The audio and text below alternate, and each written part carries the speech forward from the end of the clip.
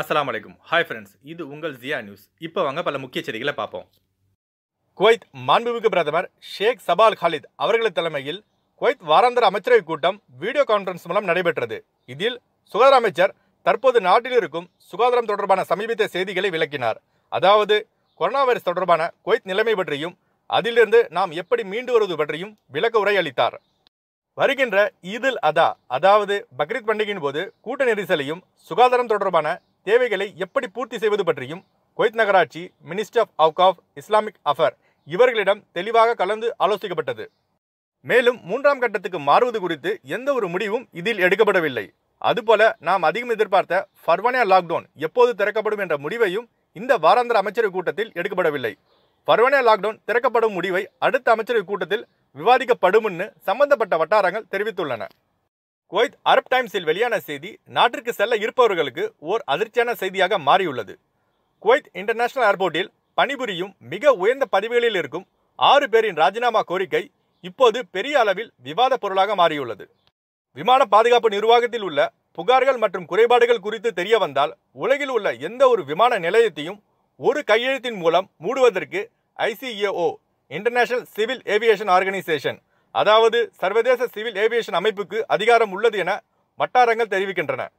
இந்த சூழ்நிலையில்தான் அடுத்த மாதம் கமர்ஷியல் ஃப்ளைட்களை மீண்டும் தொடங்க இருக்கும் DGCA director general of civil aviation செய்து வரும் நடவடிக்கைகளை தேசிய சட்டமன்ற விவகார அமைச்சர் முபாரகல் ஹரிஸ் ஹாரிஸ் அவர்கள் பாராட்டியுள்ளது குறிப்பிடத்தக்கது. உள்துறை அமைச்சகம் எல்லை பாதுகாப்புடன் இணைந்து பத்து கிலோ ஹாஷிஷ் மற்றும் ஷாபு என்கிற போதைப் பொருளை கடத்திய நபரை கைது செய்துள்ளார்கள். பார்டர் வழியாக அதிக அளவில் போதை மருந்து கடத்தப்படுவதாக உள்துறை அமைச்சகத்துக்கு தகவல் வந்தது. அதன் அடிப்படையில் எடுக்கப்பட்ட நடவடிக்கையில் போதை மருந்து கடத்திய நபர் கைது செய்யப்பட்டுள்ளார். இப்போது இது தொடர்பாக விசாரணை நடந்து கொண்டு வருகிறது. வந்தே பாரத் மிஷன் மூலமாக நாலாயிரத்தி எழுநூத்தி பதினெட்டு இந்தியர்கள் இருபத்தெட்டு விமானங்கள் மூலமாக பாதுகாப்பாக நாடு திரும்பியிருக்காங்க. இதில் பார்த்தீங்கன்னா சென்னைக்கு தோஹா மற்றும் பஹ்ரைன்லேருந்து இரண்டு விமானமும் திருவனந்தபுரத்துக்கு துபாய் மற்றும் மஸ்கட்ல இருந்து இரண்டு விமானமும் திருச்சிக்கு கோலாலம்பூர் ரியா ஜெத்தாவிலிருந்து மூன்று விமானமும் வந்துள்ளது. இதுவரைக்கும் பார்த்தீங்கன்னா ஆறு லட்சத்தி ஐம்பதாயிரம் இந்தியர்கள் வந்தே பாரத் மிஷன் மூலமாக பாதுகாப்பாக நாடு திரும்பியுள்ளார்கள் என சிவில் ஏவியேஷன் தலைவர் ஹர்தீப் சிங் பூரி அவர்கள் அறிவித்துள்ளார். டபிள்யூஹெச்ஓ உலக சுகாதார அமைப்பு வெளியிட்டுள்ள கொரோனா வைரஸால் பாதிக்கப்பட்ட டாப் ஃபைவ் நாடுகளின் லிஸ்ட்டை பார்ப்போம். எப்பவும் போல் அமெரிக்கா தாங்க ஃபஸ்ட்டில் இருக்குது மொத்த எண்ணிக்கை பார்த்தீங்கன்னா முப்பத்தி நாலு லட்சத்தி எழுபத்தொம்பதாயிரத்தி நானூற்றி எண்பத்தி மூணாக உள்ளது. ரெண்டாவதுல பிரேசில் இருக்குது மூணாவதுல இந்தியா. மொத்த எண்ணிக்கை பார்த்தீங்கன்னா ஒம்பது லட்சத்தி ஏழாயிரத்தி அறுநூற்றி நாற்பத்தஞ்சாக உள்ளது. நாலாவதுல ரஷ்யா அஞ்சாவதுல பெரு இருக்கு. சவுதி அரேபியா பதினாலாவதுல இருக்கு. மொத்த எண்ணிக்கை ரெண்டு லட்சத்தி முப்பத்தஞ்சாயிரத்தி நூற்றி பதினொன்றாக உள்ளது.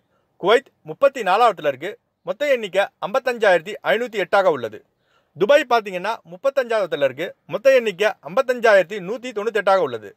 ஸ்ரீலங்கா நூற்றி ஏழாவதுல இருக்கு. மொத்த எண்ணிக்கை இரண்டாயிரத்தி அறுநூத்தி நாற்பத்தி ஆறாக உள்ளது. இப்போ கொரோனா வைரஸ் வேர்ல்டு அப்டேட்டே பார்ப்போம். மொத்த எண்ணிக்கை பார்த்தீங்கன்னா ஒரு கோடியே முப்பத்தி ரெண்டு லட்சத்தி முப்பத்தஞ்சாயிரத்தி எழுநூற்றி ஐம்பத்தி ஒன்றாக உள்ளது. இந்த நோயில் மரணமடைஞ்ச எண்ணிக்கை பார்த்தீங்கன்னா அஞ்சு லட்சத்தி எழுபத்தஞ்சாயிரத்தி ஐநூற்றி இருபத்தஞ்சாக உள்ளது. இந்த நோயிலிருந்து குணமடைஞ்சவங்க எண்ணிக்கை பார்த்தீங்கன்னா எழுபத்தி ஆறு லட்சத்தி தொண்ணூற்றி ஆறாயிரத்தி முந்நூற்றி எண்பத்தி ஒன்றாக உள்ளது. இன்னைக்கு குவைத் தினார் இந்தியா மற்றும் இலங்கையின் எக்ஸ்சேஞ்ச் ரேட்டே பார்ப்போம்.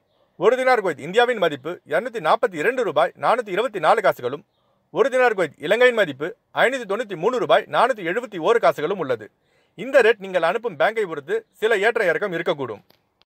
ஓகே ஃப்ரெண்ட்ஸ் அடுத்த பதிவில் பல முக்கிய செய்திகளோடு சந்திக்கிறேன். நம்ம சேனலை சப்ஸ்கிரைப் பண்ணுங்கள் லைக் பண்ணுங்கள் ஷேர் பண்ணுங்கள் எப்போதும் இணைந்திருப்போம். நன்றி.